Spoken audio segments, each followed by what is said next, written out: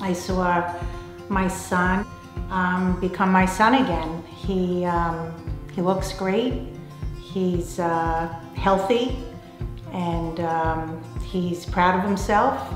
And um, it was just a great evening for the whole family to see him come so far in one year.